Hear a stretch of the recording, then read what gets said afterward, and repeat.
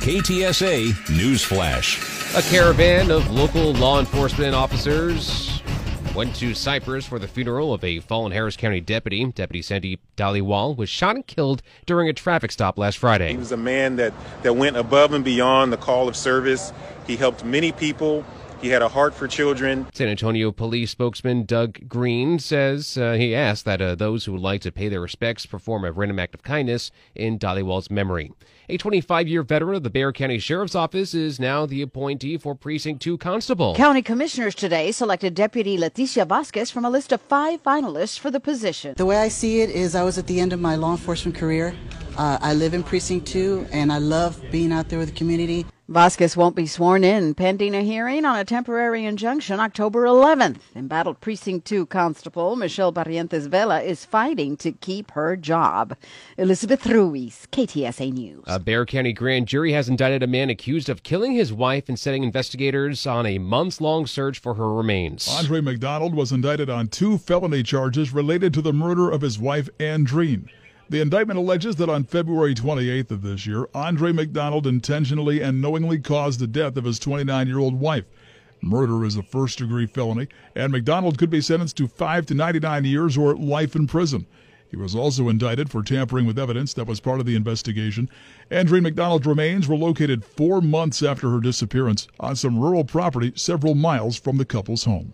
Don Morgan, KTSA News. The same jury that convicted former police officer Amber Geiger guilty of murder must now decide her punishment. Prosecutors led off the punishment phase by calling family members of the man Amber Geiger shot to describe losing Botham Jean. His sister is Allisa Findley. If I could just continue our conversation, our last conversation, just not let him hang up the phone. Geiger could get life in prison for killing Jean in his apartment, believing it was hers.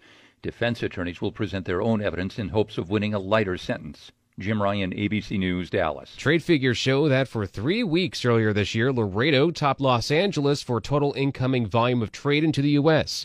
Usually, Laredo sits at number two for total trade volume in the country after L.A. A new Forbes report says in March, Laredo's ports of entry clocked over $20 billion compared to the L.A. port's $19.6 billion. Laredo still registers consistently as the number one inland port in the country.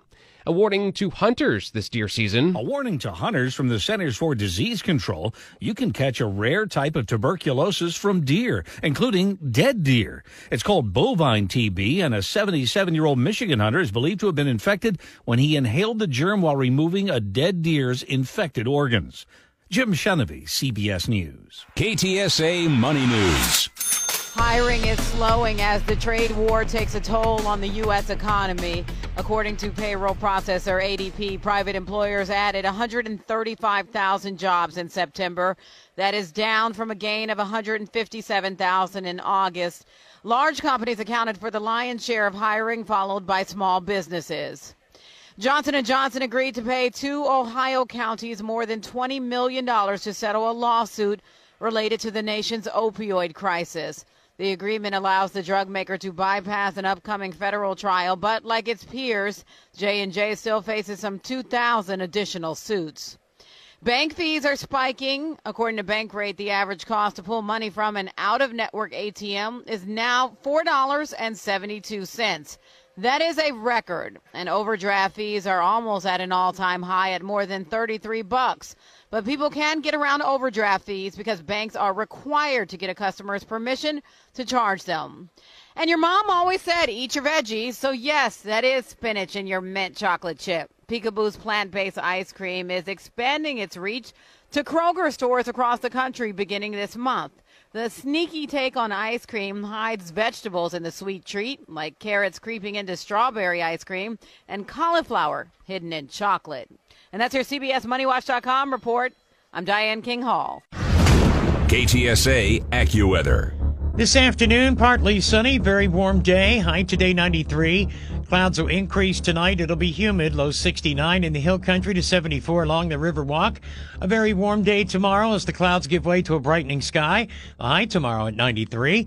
Partly sunny, warm day on Friday, high 92. I'm Steve Williams with your KTSA Stevens Roofing AccuWeather forecast. I'm Dennis Foley. Get news around the clock on 550 KTSA and FM 1071. Get news anytime online at ktsa.com.